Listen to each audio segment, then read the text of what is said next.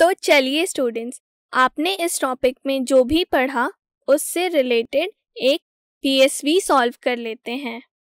तो स्टूडेंट्स इस क्वेश्चन में आपसे कहा गया है कि इन दिए गए रिएक्शंस को कंप्लीट कीजिए। तो चलिए स्टूडेंट्स इसका सॉल्यूशन देख लेते हैं।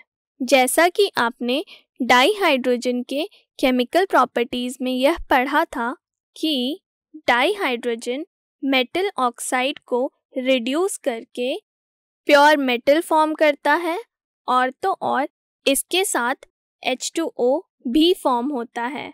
यदि हम इस रिएक्शन को बैलेंस करें तो एम MM जो कि प्योर मेटल है, और XH2O that is water form होगा।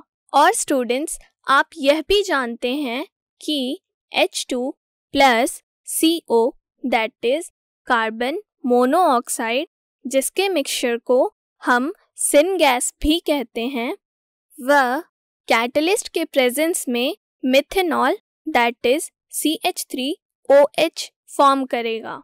स्टूडेंट्स हमने यह भी पढ़ा है कि जिंक सोडियम हाइड्रोक्साइड के साथ कैटलिस्ट के प्रेजेंस में रिएक्ट करके sodium zincate that is N A two Z N O two form करेगा।